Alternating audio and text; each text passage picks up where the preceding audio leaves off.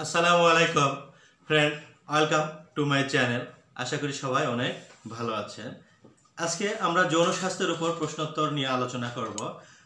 বিভিন্ন সময় বিভিন্নভাবে বিভিন্ন জন বিভিন্ন প্রশ্ন আমাদের করেছে, সেই প্রশ্নগুলোর থেকে যে প্রশ্নগুলো সাধারণত লোকের মনে সবসময় এসে থাকে, অর্থাৎ যৌন স্বাস্থ্যের উপর যে প্রশ্নগুলো কমন এরকমই কিছু প্রশ্নের। আজকে আমরা মূলত ষাটটি গুরুত্বপূর্ণ প্রশ্নের, অত্যন্ত গুরুত্বপূর্ণ ষাটটি প্রশ্নের উত্তর দেওয়ার চেষ্টা করব। আশা করি সেই পর্যন্ত আমাদের পাশেই থাকবেন। ফ্রেন্ড প্রথম প্রশ্ন পেনিস বড় ও মোটা করার উপায় কি? এরকম প্রশ্ন আমাদের অনেকে বলেছেন। আমার একটা ভিডিও আছে যে পেনিস বড় এবং মোটা করতে চান।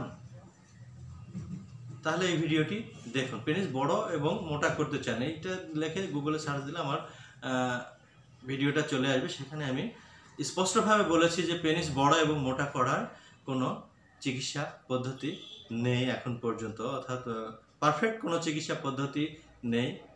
যে চিকিৎসার মাধ্যমে পেনিস বড় এবং মোটা করা যায়, রাস্তাঘাটে বিভ্রান্তিমূলক বিজ্ঞাপনের মাধ্যমে এগুলো সাধারণত বলে থাকে যে পেনিস বড় করেন, মোটা করেন।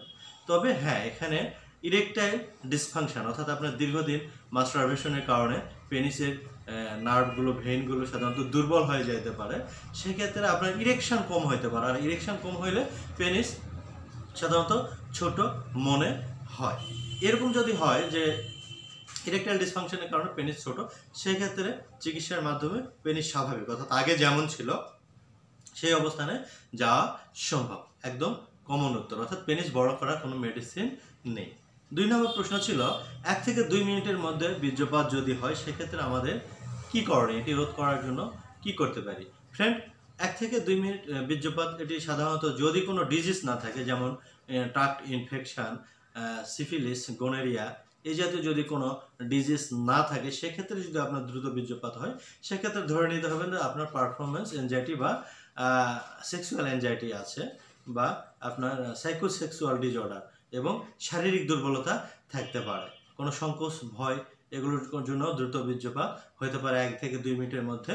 এটি যদি এক এক থেকে তিন মাসের মধ্যে তিন মাসের মতো হয়, সেক্ষেত্রে এটি আপনারা রিকভার করার চেষ্টা করেন। এরপরে যদি আপনারা নিজের থেকে এটি রিমুভ করতে না পারেন, সেক্ষেত্রে চিকিৎসকের পরামর্শ নেওয়া প্রয়োজন আছে। চিকিৎসক আপনার সামগ্রিক দিকগুলো বিবেচনা করে চিকিৎসা দিলে দ্রুত সুস্থ হয়ে যাবেন। তবে প্রাথমিকভাবে এক থেকে দুই মিনিট বীর্যপাত হওয়া স্বাভাবিক যারা নতুন বিবাহিত করে বা ফার্স্ট ইন্টার কোর্সে যায়, তাদের ক্ষেত্রে এই সমস্যাগুলো হতে পারে, এটি চিন্তার কিছু নেই।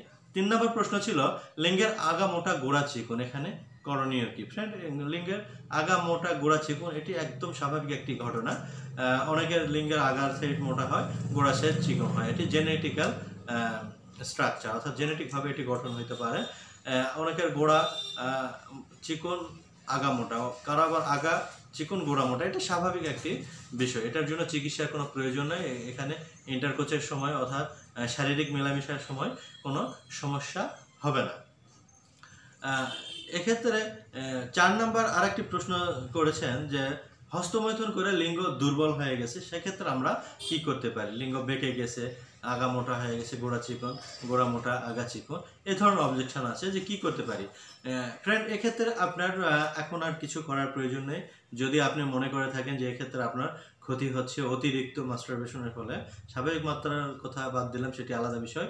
যদি মনে হয় যে অতিরিক্ত মাস্টারবেশনের ফলে আপনার এরকম হয়ে গেছে, সেক্ষেত্রে ভালো ভালো কিছু খাবার আপনি মেনটেন্স করেন রেগুলার দুধ, ডিম, মধু কিশমিশ এই খাবারগুলো খান রেগুলার পেনিসের প্রয়োজনে অলিভ অয়েল স্পেনের অরিজিনাল অলিভ অয়েল এটি আলতোভাবে প্রলেপ দিতে পারেন। এর মান, এর মানে এ না যে বালিশ করতে হবে। আপনার নার্ভগুলো জাগানোর জন্য অলিভ অয়েলটা খুবই গুরুত্বপূর্ণ এবং চমৎকার কাজ করে থাকে পরীক্ষিত এটি।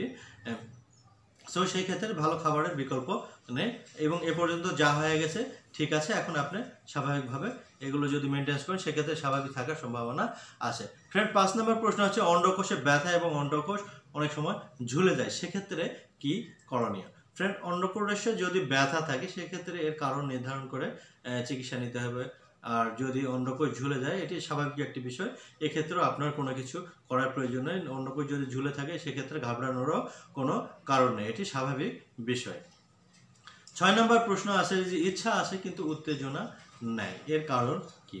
ফ্রেন্ড এই বিষয়টি আমরা অনেক পর্যালোচনা করে দেখেছি যে, সাধারণত ফিফটি আপ যাদের তাদের এই প্রবলেমটা বেশি হয়। আমাদের, আমাকে যারা ফোন করেছে, অধিকাংশ ফিফটি আপ তারা বলেছে যে আমাদের ইচ্ছা আছে, উত্তেজনা নাই। এটি একটি স্বাভাবিক ঘটনা। এছাড়াও সাধারণত টোয়েন্টি ওয়ান থেকে ধরা হয় না, সাধারণত টোয়েন্টি ফাইভ থেকে ফোরটি পর্যন্ত এই সমস্যা হতে পারে জেনারেল সমস্যা।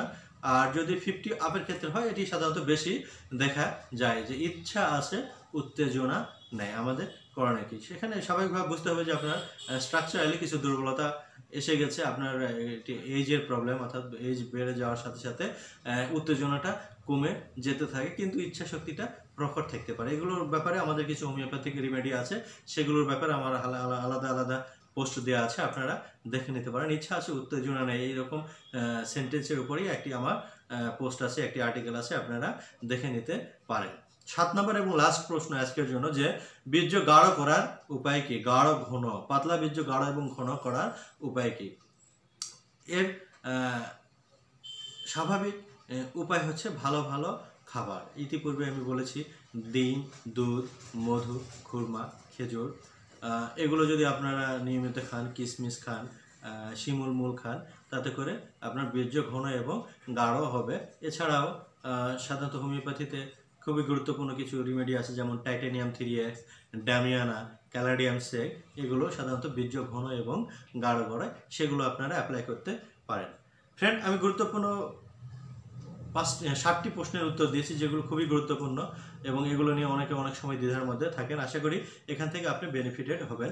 যদি আপনার ভালো লাগে, ভিডিওটি শেয়ার করে আরেকজনের দেখার সুযোগ করে দেবেন, যাতে সেও উপকৃত হতে পারে। আজকে এ পর্যন্তই। সবার জন্য অনেক অনেক ভালোবাসা। অনেক অনেক শুভকামনা। সবার জন্য মঙ্গল কামনা করে এখানে শেষ করছি। আসসালামু আলাইকুম।